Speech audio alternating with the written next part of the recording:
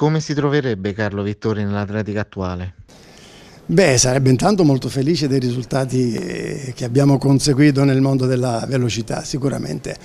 Ecco, il mondo è cambiato, il mondo è cambiato, anche l'organizzazione dell'allenamento è cambiato, quindi secondo me però lui aveva delle capacità di adeguarsi molto elevate, no? per cui si sarebbe adeguato al, al mondo di oggi però non è più come prima, oggi si deve organizzare e programmare l'allenamento in maniera diversa. Vittorio ci ha insegnato la programmazione, ci ha insegnato praticamente tutto, io sono un suo seguace, ho avuto la fortuna anche di essere allenato anche da un maestro dello sport che veniva dalla sua scuola e quindi ci ha dato tutti gli elementi dell'allenamento sportivo.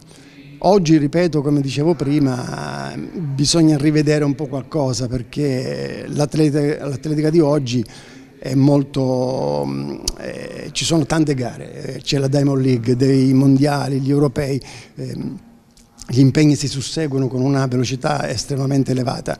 Eh, una volta c'erano le Olimpiadi, poi c'erano gli europei, ogni quattro anni gli europei, oggi sono ogni due anni, insomma ecco, va rivisto quel tipo di organizzazione. Per il resto chiaramente l'allenamento ci deve sempre essere alle spalle e lui ci ha insegnato come fare.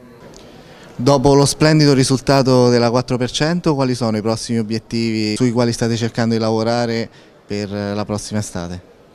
Beh, ci aspetta una stagione molto, molto complicata, abbiamo i mondiali in America e poi gli europei a Monaco.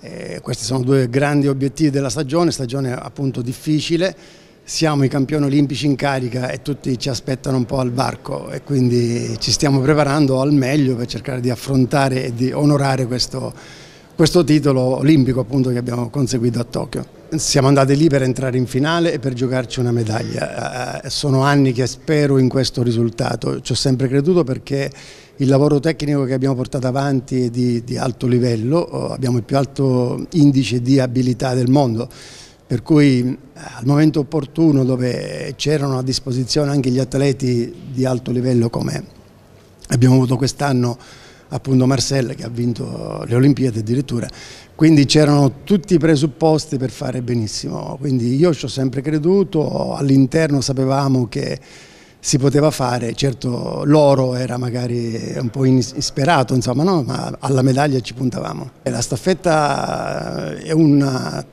una specialità molto difficile, sono quattro sprinter molto spesso egoisti, molto spesso egocentrici, rivali e poi li devi mettere insieme in un gioco di squadra. E questa è la grande difficoltà. E poi devi utilizzare le risorse umane al meglio perché c'è un primo frazionista, un secondo, un terzo, un quarto, sono frazioni diverse l'una dall'altra, quindi ognuno con le proprie peculiarità deve trovare spazio e posto al momento giusto, insomma, no?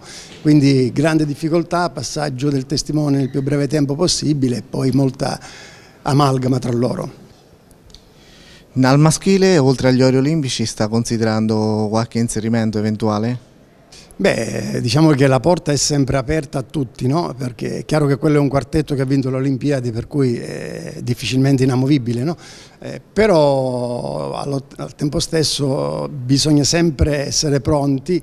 Io dico sempre, noi creiamo un gruppo, un gruppo coeso, un gruppo che fa squadra, ma è un gruppo anche aperto. Se arriva il momento in cui bisogna sostituire qualcuno, lo devi fare senza, senza ripensamenti. Insomma, ecco.